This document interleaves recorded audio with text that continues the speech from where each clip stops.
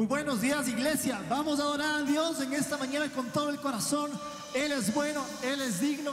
Vamos a hacerlo con todo nuestro ser. Amén.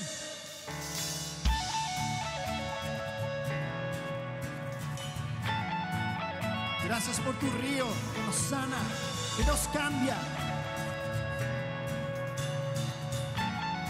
Dígale a Él.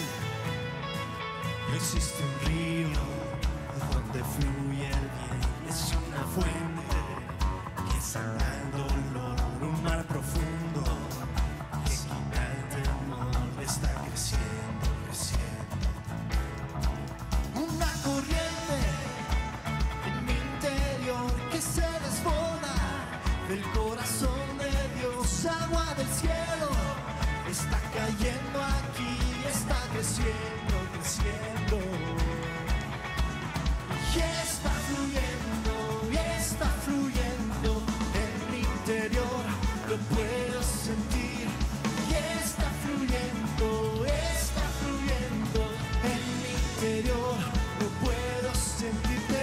Tenemos vida en tu río, tenemos vida.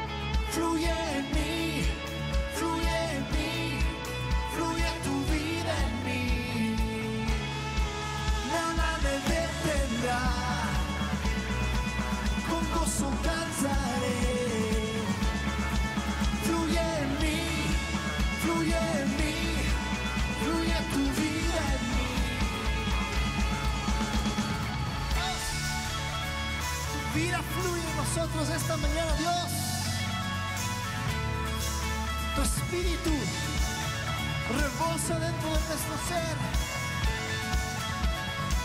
¡Viole! Tenemos vida en tu río. Tenemos vida en tu río. Tenemos vida en tu río.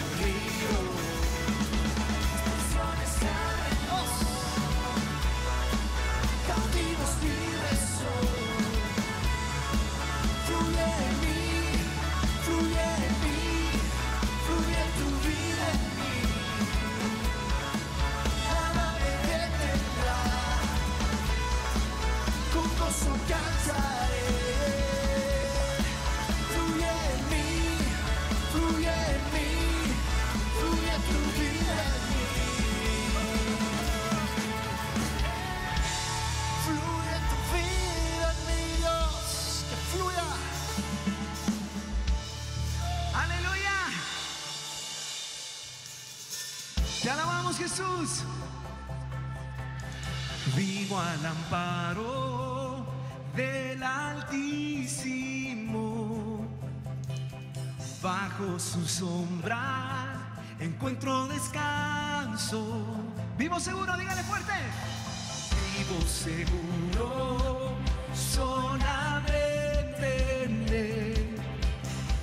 Él es mi refugio y mi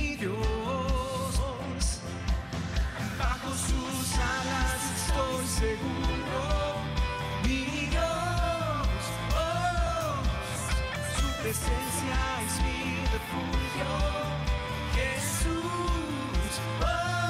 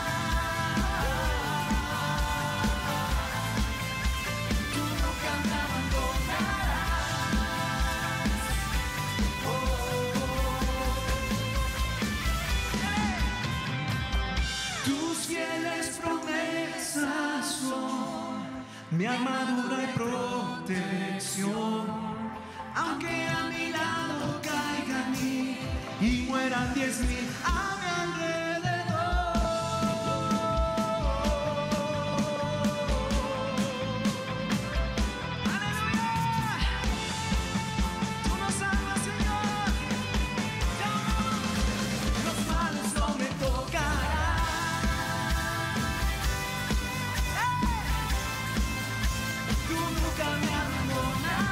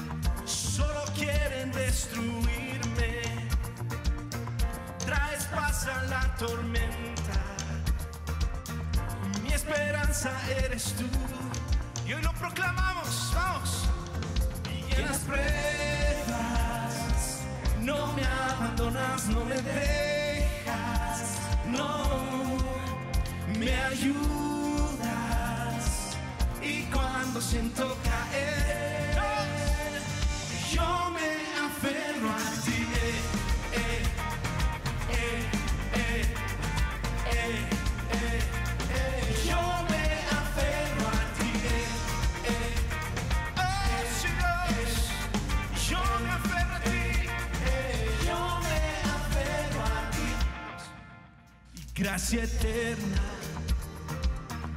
Tú jamás me has dejado y el pecado me alejaba. Tu amor me alcanzó. Levante su voz, dígale esto. Las pruebas no me abandonas, no me dejas, no me ayudas, me ayudas. Y cuando siento caer, yo yo me aferro a ti.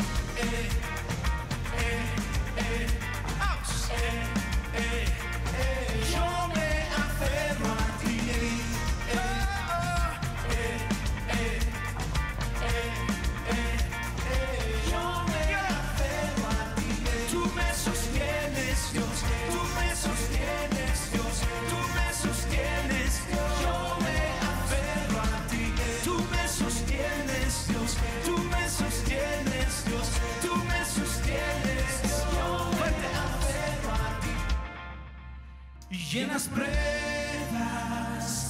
no me abandonas, no me dejas, no me ayudas, me ayudas. Y cuando siento caer,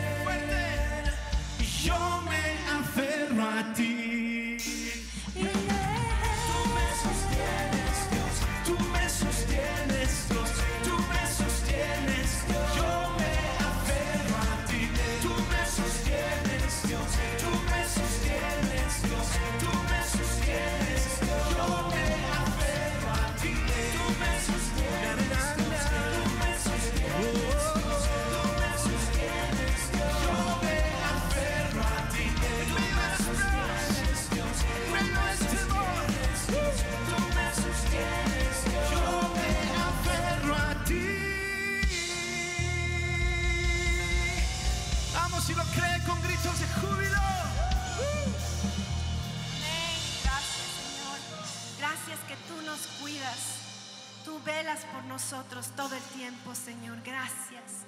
Te adoramos en este día. Te adoramos a ti, Jesús. Tú has sido bueno. Tú has sido fiel, Señor. Gracias. Bienvenido, Señor. Te adoramos. Tu gracia me visitó,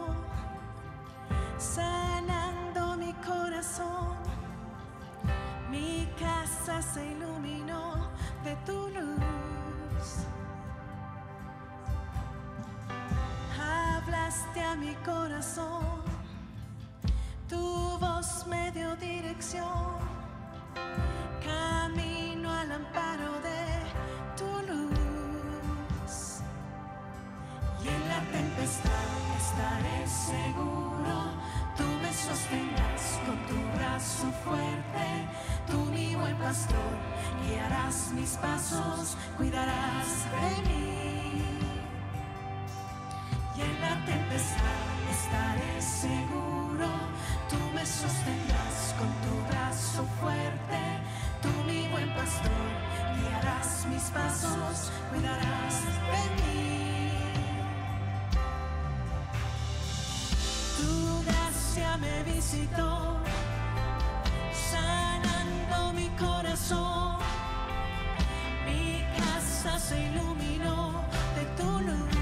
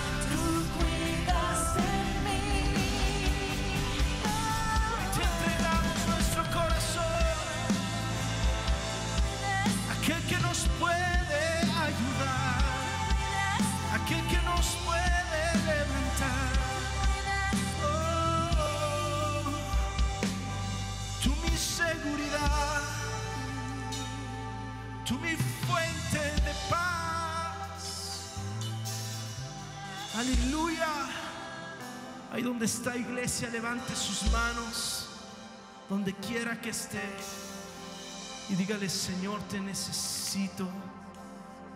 Tú eres quien cuida de mí. Tú eres mi fuente de paz. Y tú eres quien nos hace más que vencedores. Iglesia, por su sangre, por lo que Él hizo por nosotros, somos más que vencedores. Levante sus manos, mire al cielo, de donde viene nuestro socorro. Te adoramos.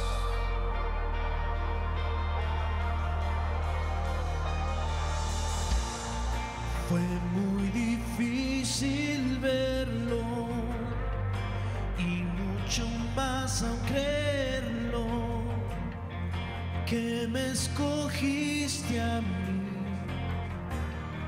me hiciste un vencedor. Y aun siendo imperfecto me das lo que no merezco. Tomas lo roto en mí, lo restauras en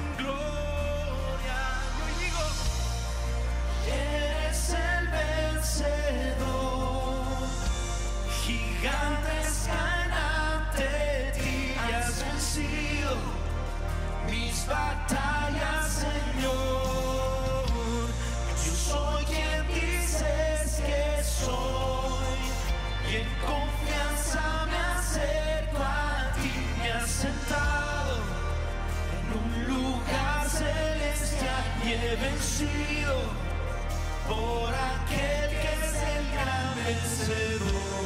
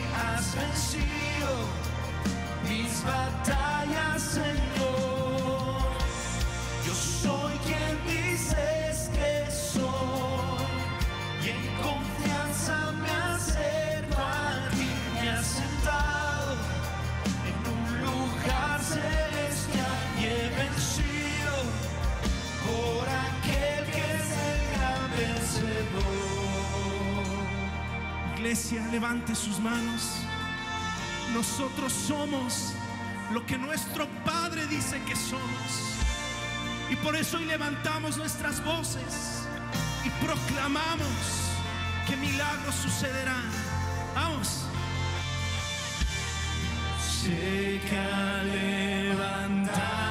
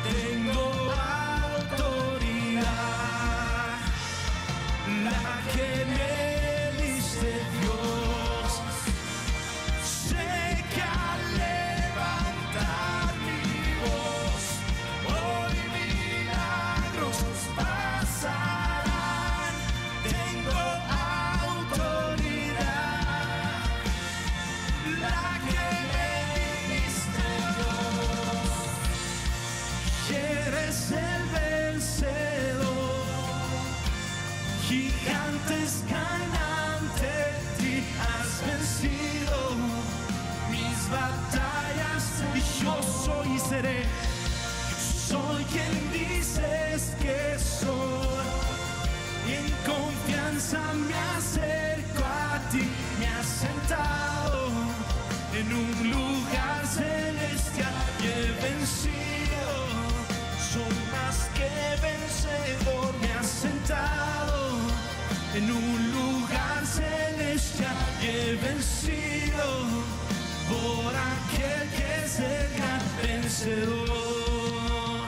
Este es nuestro año, iglesia, el año de esperanza, el año de victoria. Y lo creemos, lo creemos. Y por lo que creemos, lo proclamamos. Un año de victoria. Si usted lo cree, denle un fuerte aplauso a él.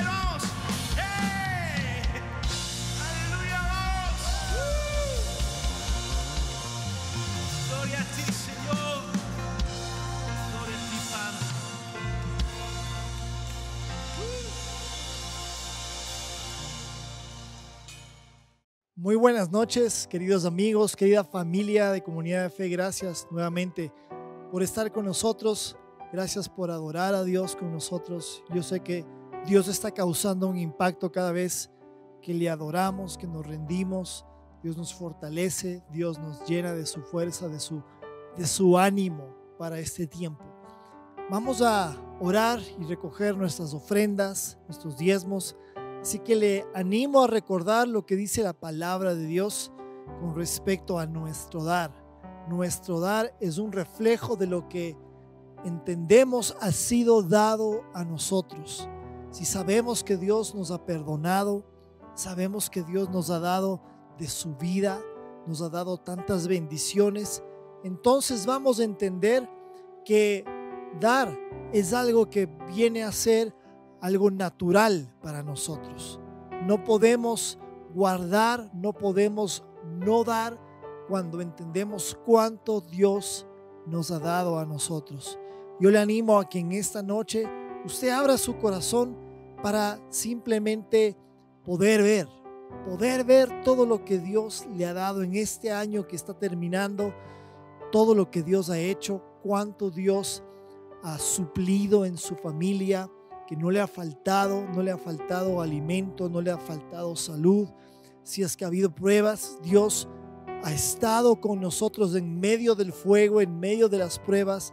Dios nos ha levantado, Dios ha caminado con nosotros, hemos aprendido, hemos aprendido a caminar más cerca de Él, ¿cierto? Entonces, yo creo que es importante que en este tiempo que nos disponemos a dar, nos disponemos a sembrar, entendamos que Dios nos ha dado una lluvia de bendiciones en este año 2022 y no podemos, no podemos no ser obedientes, no podemos no ser generosos y dar a nuestro Dios, dar a su obra, dar a su iglesia, dar a su propósito no lo que lo que nos corresponde darle, nuestros diezmos, nuestras ofrendas. Entonces le animo, cierre sus ojos, oremos si usted va a sembrar a través de su eh, celular, a través de su tablet, o si es que va a hacerlo el, fin de semana aquí en la iglesia, vamos en esta noche a orar. Señor, te damos gracias, Padre, porque sabemos cuán fiel, cuán bueno tú has sido, Señor. Tú nos has sostenido, tú, Señor, nos has demostrado una y otra vez, Señor, Padre, que tú cuidas de los tuyos, tú cuidas de tus hijos, tú cuidas de tu familia, Señor. Y aunque tal vez sí ha habido pruebas, Señor, en este año, Señor, pero hemos visto, Señor, que tú te has mantenido fiel, has provisto, Señor, has sanado, nos has llevado, Señor Padre, a través de, de esos valles difíciles, Señor, y nos has alimentado, Señor, con tu palabra, con tu esperanza, con tu fuerza. Así es que en esta noche, Señor, mientras nos disponemos a sembrar nuestra semilla, a ser obedientes a tu palabra, Señor, a ser generosos, Señor, oramos, Señor, que este nuevo año que va a comenzar, el 2023, Señor, nosotros podamos ser aún más generosos, Señor, podamos ser aún más, Señor, dadores, Señor, parecidos a quien eres tú, Señor, porque tú eres un Dios que ciertamente has dado lo mejor para nosotros, Señor. Y en esta noche damos lo mejor porque queremos ver, Señor, una cosecha grande en este próximo año. En el nombre de Jesús, amén y amén. De con alegría porque Dios nunca nos va a fallar. Amén. Gracias por tu generosidad. Juntos seguimos construyendo el reino de Dios en la tierra. Cada semilla que tú siembras logra que semana a semana sigamos bendiciendo la vida de miles de personas en nuestro país. El título de, esta, de este mensaje en esta noche, yo sé que la versión corta está en la pantalla, pero quería ponerle en realidad, no, no alcanzaba en la pantalla, pero a veces nos libra, a veces nos encuentra en el fuego. Dios nos encuentra en el fuego. Ese es el título a veces nos libra, a veces Dios nos encuentra en el fuego. Y yo sé que hemos pasado, yo creo que todos nosotros hemos pasado por el fuego en alguna circunstancia, en algún momento de, nuestros, de nuestras vidas, hemos pasado por pruebas tan difíciles que sentíamos que en realidad estábamos en el fuego, en el horno de fuego. Y yo creo que en esos momentos difíciles, en esos momentos donde sentimos que nos falta literalmente el aire y no podemos respirar. Hemos sentido tantas voces en nuestras mentes, hemos sentido, ah, ah, hemos tenido tantos pensamientos diferentes en nuestras mentes y creo que usted y yo tenemos que entender que no somos los únicos, no estamos solos en, en estos sentimientos, no estamos solos en estos pensamientos. Cuando leemos la Biblia, de hecho, podemos entender que muchos de nuestros héroes de la fe, muchas personas que han sido realmente, ah, han tenido papeles tan importantes en la historia de la Biblia, también se han encontrado en momentos sumamente difíciles, donde se han preguntado, ¿dónde está Dios? ¿Dónde está la promesa que Dios nos ha hecho? Uno de estos personajes es Juan el Bautista. Juan eh, realmente se llevó los halagos más grandes de nuestro Señor Jesús.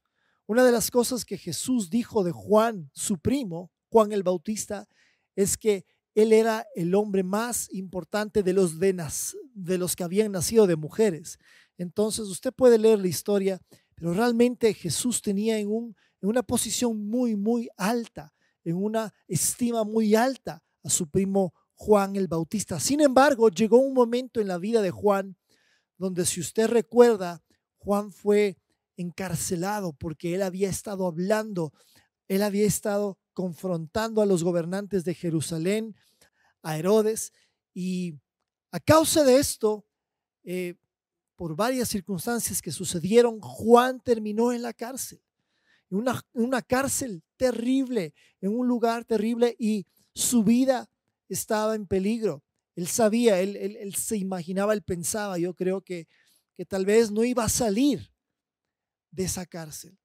Y él tenía muchas expectativas y tal vez él nunca pensó que iba a terminar en la cárcel y en el peligro de muerte. Y hay una, una un relato en Lucas, eh, eh, capítulo 7, versículo del 18 al 23, donde mientras Judas, perdón, Juan el Bautista está en la cárcel, él llama a sus discípulos para que hagan una averiguación, una pregunta a Jesús. Vamos a leer estos versículos. Dice, los discípulos de Juan el Bautista le contaron todo lo que Jesús hacía. Ellos le estaban visitando en la cárcel. Entonces Juan llamó a dos de sus discípulos y los envió al Señor, los envió a Jesús para que le preguntaran, ¿eres tú el Mesías a quien hemos esperado? ¿O debemos buscar, eh, seguir buscando a otro? Podemos ver que en este momento, a causa de la dificultad, de los problemas, de la cárcel, del temor que tal vez sentía Juan, empezó a entrar duda. Estas circunstancias sumamente adversas empezaron a sembrar dudas, temores en el corazón de Juan. Empezó a dudar de que Jesús era el Mesías cuando en ocasiones anteriores él había visto. De hecho, en el bautismo de Jesús, los cielos, los cielos se habían abierto y, y Juan el Bautista estaba ahí. Pero en este momento donde había tanta oscuridad a su alrededor, donde había tanta angustia, empezaron a venir pensamientos al corazón, a la mente de Juan, dudando de que si Jesús era el Mesías, era el Salvador, él era el que había venido a traer el reino de Dios. Y me parece interesante porque a veces hay circunstancias externas, como en el caso de Juan, que pueden empezar a traer este tipo de, dudas, de pensamientos. ¿Me escucha Dios?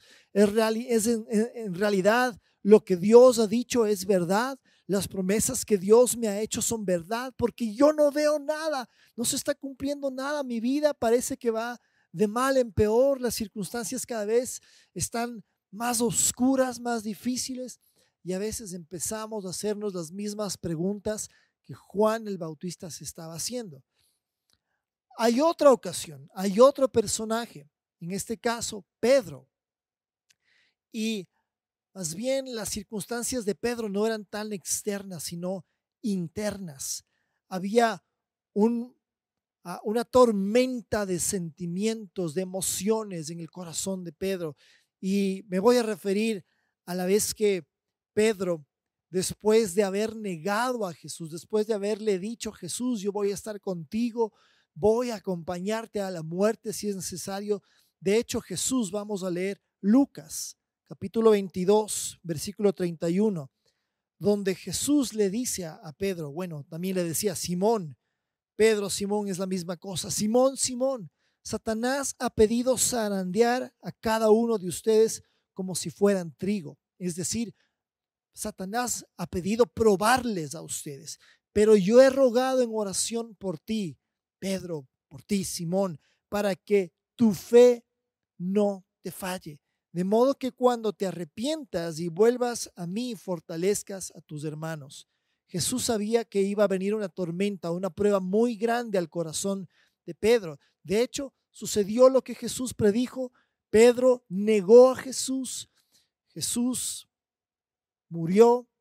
A los tres días se levantó de entre los muertos, pero algo todavía no estaba bien en el corazón de Pedro. Yo creo que Pedro se sentía tan mal tan ah, mal con él mismo de haber decepcionado, de haber dicho, Jesús, te voy a seguir, y apenas tuvo la oportunidad, maldijo, le negó, y pues se cumplió lo que Jesús estaba, eh, había dicho. Y Jesús, para esto, después de resucitar, se había aparecido ya varias veces a los discípulos.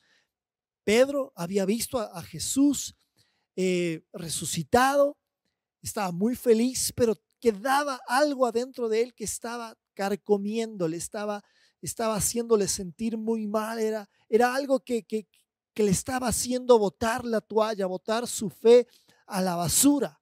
¿Cómo, cómo me doy cuenta de esto? Porque eh, hay un versículo o unos versículos en Juan que los vamos a leer, Juan 21, del 1 al 4, donde ya Jesús resucitado eh, pues Pedro está aquí y vamos a leer lo que dice. Más tarde Jesús se apareció nuevamente a los discípulos junto al mar de Galilea. Este es el relato de lo que sucedió. Varios de sus discípulos se encontraban allí. Simón Pedro, de quien acabamos de leer, Tomás, al que apodaban el gemelo, Natanael de Caná de Galilea, los hijos de Zebedeo, es decir, Juan y Santiago, y otros dos discípulos. Simón Pedro dijo, me voy a pescar. Y aquí quiero que usted entienda que Pedro estaba regresando al lugar de donde Jesús le había sacado. Pedro estaba regresando a su lugar seguro, a lo que él sabía hacer, a donde él se sentía cómodo. Él, él en su mente había decepcionado de una manera tan grande a Jesús que él no se sentía que él era capaz de ir y hacer lo que Jesús les había mandado a los discípulos. a Pedro estaba en un punto de decir, bueno, yo creo que me voy a, a regresar a lo que siempre hice toda mi vida, a la pesca. Esto es lo que yo sé hacer. Él se había descalificado, había dicho, yo no sirvo para lo que Jesús quiere. Le he decepcionado, le he fallado, estoy pues prácticamente dejando mi fe a un lado, voy a seguir con lo que yo era antes.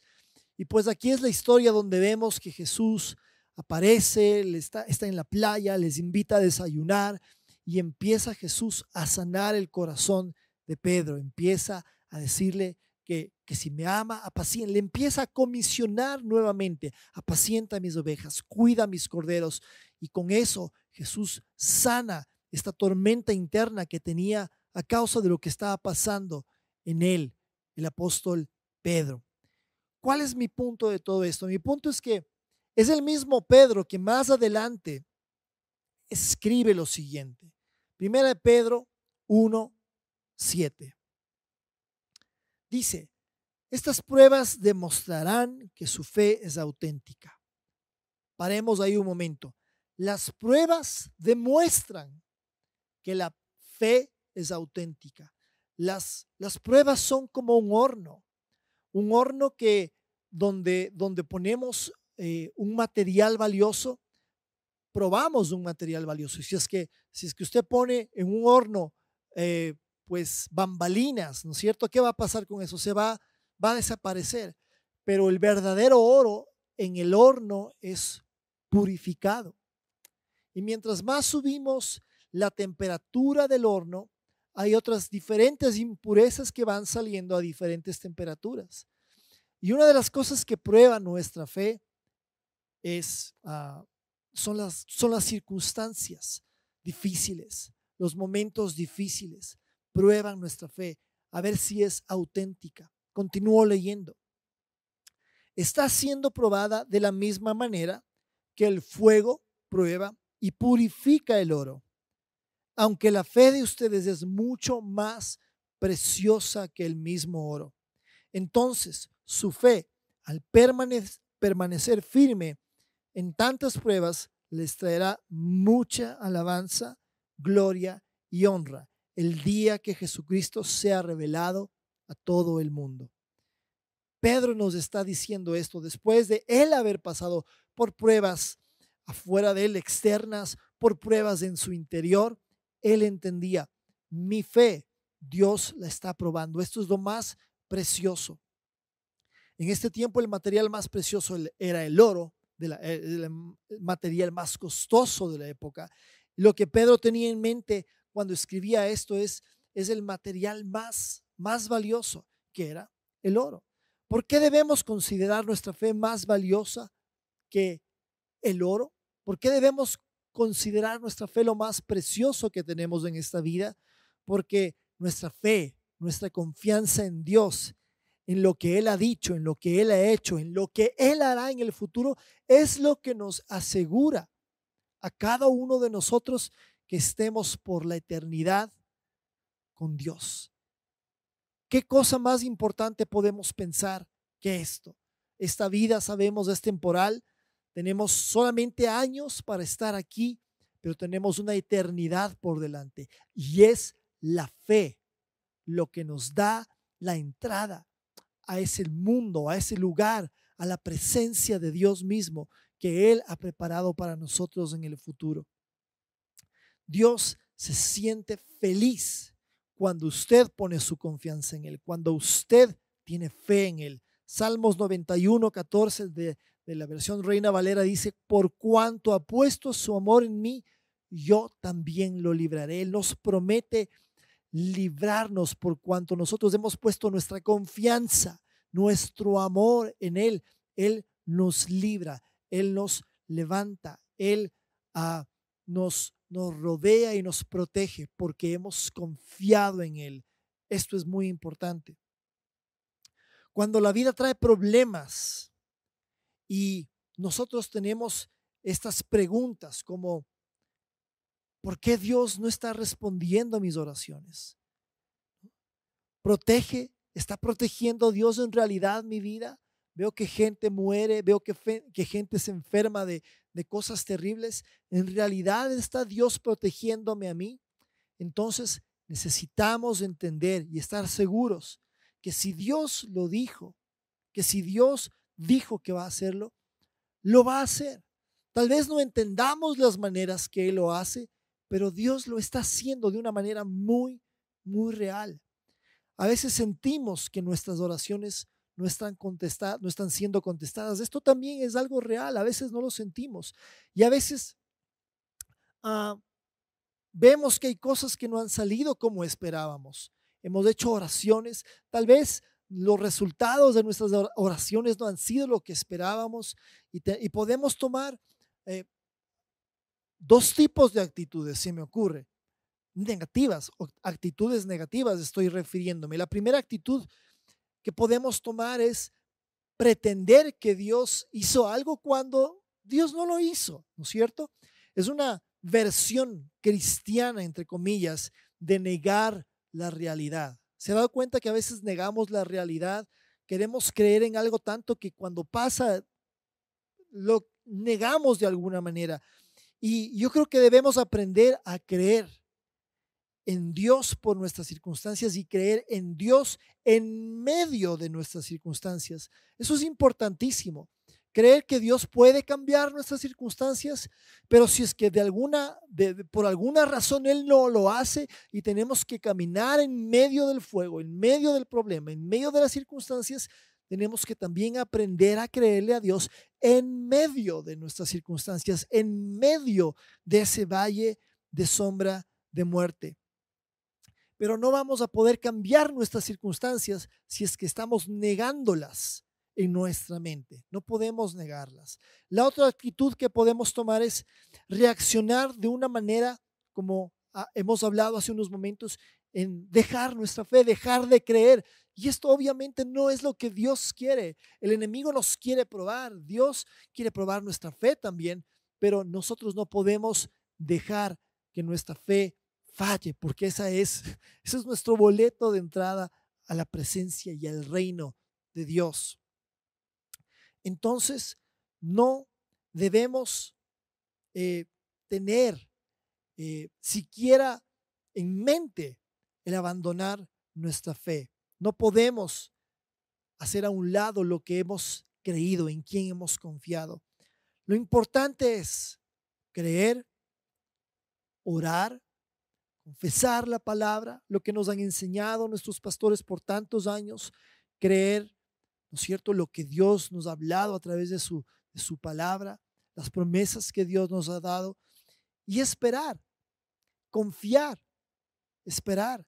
Y a veces vemos que pasa el tiempo, pasan los años, a veces Dios sí hace milagros, a veces Dios sí hace cosas espectaculares y nosotros somos una iglesia que creemos en milagros. Somos una iglesia que no solamente creemos en milagros, sino que hemos visto milagros. Yo he visto sanidades, yo he visto gente salir del cáncer, yo he visto gente ser sanada de, diferentes cosas. Yo mismo soy una persona que he visto milagros en mi vida. Milagros instantáneos, milagros que han tomado tiempo, milagros que han tomado años. Sí, los milagros existen. Dios hace milagros. Pero hay otras ocasiones en que Dios se tarda mucho o parece que no está contestando o simplemente quiere que aprendamos algo diferente. Y quiere que aprendamos a atravesar esa circunstancia difícil confiando en Él, aunque no veamos la respuesta que nosotros creemos que Dios nos tiene que dar o pensamos que Dios nos tiene que dar.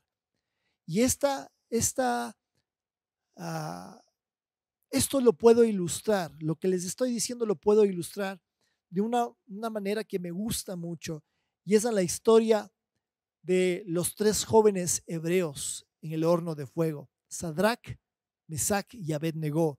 Esta historia está en Daniel capítulo 3 y no lo vamos a leer por el tiempo, pero usted tal vez ha leído la historia de cuando el rey Nabucodonosor, que parece ese nombre de trabalenguas, pero el rey Nabucodonosor en su círculo íntimo no le decían Nabucodonosor, le decían Nabo para cortar.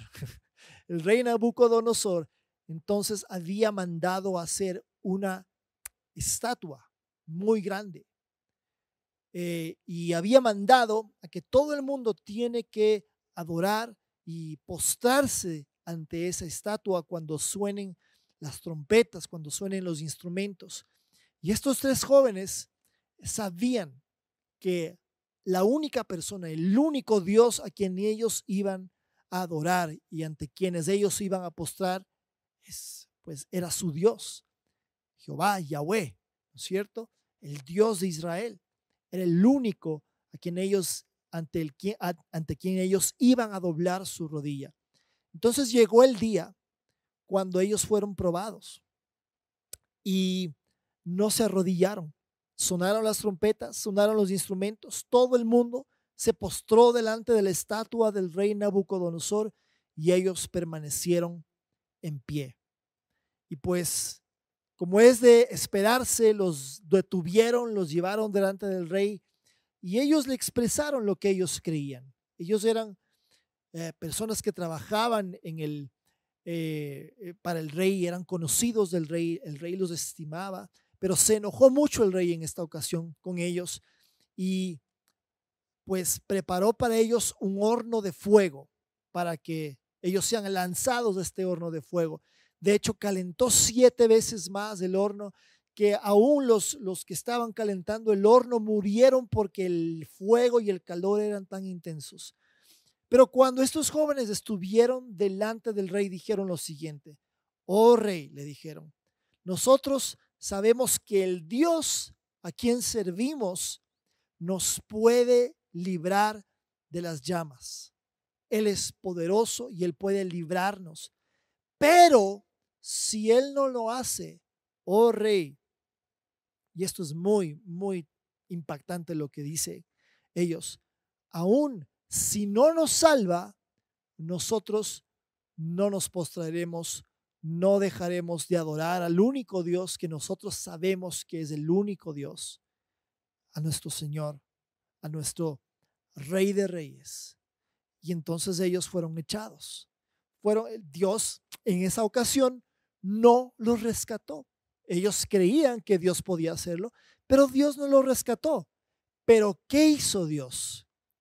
Dios no los sacó del horno, Dios se metió con ellos al horno. Si usted sigue leyendo la historia, dice la historia que cuando la gente miraba en el horno, no veían tres personas, sino que veían una cuarta persona. Y la cuarta dicen que era como el hijo de los dioses, como, como un dios, que, era, que, estaba resplandeciendo, era un, un ser diferente. ¿Quién era? Era Dios. No sé si Jesús eh, se tomó forma humana y estuvo con ellos, no sé si Dios mandó su ángel, el ángel de Jehová, no sé cómo sucedió eso, pero lo que sí sé es que Dios, el cuarto hombre en el horno, era Dios con ellos, caminando a través de ese fuego, caminando a través de esa, esa prueba, no dejando que se quemen. Y después de esto, cuenta la historia de Daniel 3, que fueron sacados del horno y ni siquiera tenían olor a humo. ¡Wow! Ni siquiera tenían olor a humo. Dios al final pasó la prueba junto a ellos, no los rescató de la prueba, se metió en la prueba con ellos. Y eso es lo que Dios hace muchas veces, cuando a veces parece que no estamos recibiendo una respuesta y estamos pasando por la situación, estamos pasando por una enfermedad, estamos pasando por una situación en la familia o por un divorcio o por algo así. Vemos que no cambian mucho las circunstancias, pero sí vemos que Dios está a nuestro lado, nos está fortaleciendo, nos está animando, nos está consolando. Sentimos su presencia más intensa y más fuerte que nunca ayudándonos. Y eso es lo que Dios también a veces hace. Y por eso le puse esta predica.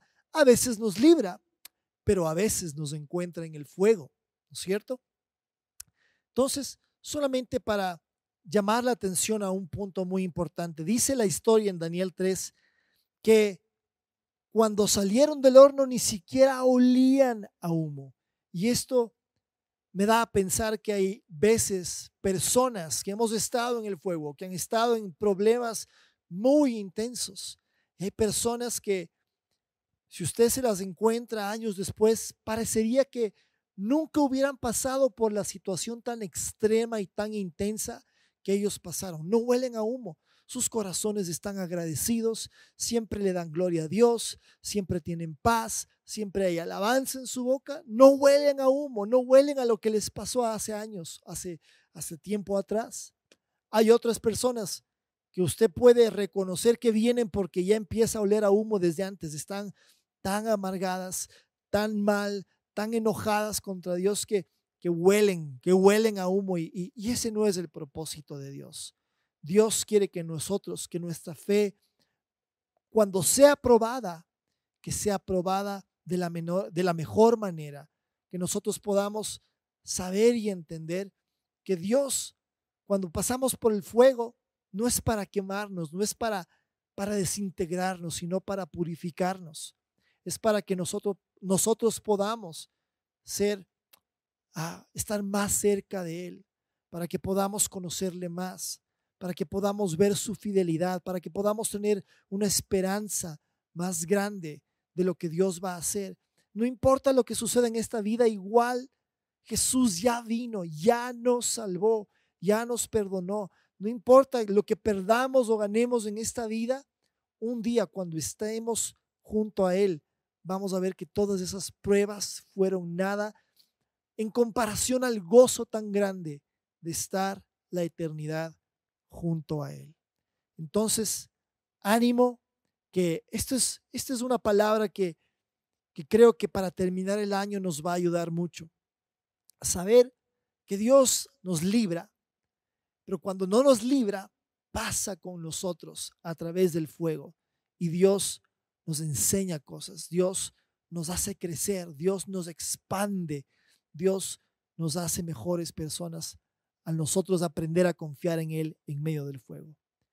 Que Dios le bendiga. ¿Por qué no oramos? Cierre sus ojos. Me gustaría hacer una oración con usted. Si es que en esta noche usted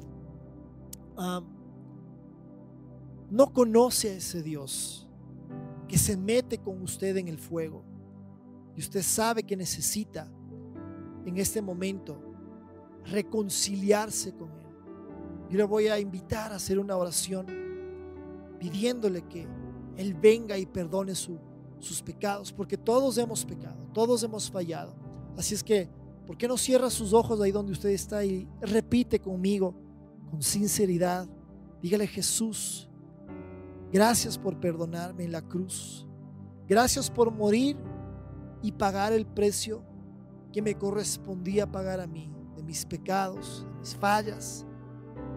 Hoy Jesús, yo creo Tú eres el Hijo del Dios vivo. Tú viniste, te hiciste hombre, moriste en una cruz para darnos salvación a aquellos que ponemos nuestra confianza, nuestra esperanza en ti. No podemos salvarnos a nosotros mismos. No es por nuestras obras, es por la fe, es por confiar en ti, Señor, y en lo que tú hiciste. Gracias, Jesús. Amén y amén. Que tenga una excelente noche, que tenga un, un tiempo muy especial esta Navidad cerca de Jesús. Que Dios le bendiga.